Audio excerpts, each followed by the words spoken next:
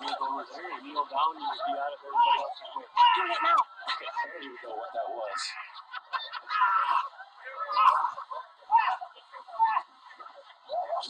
was.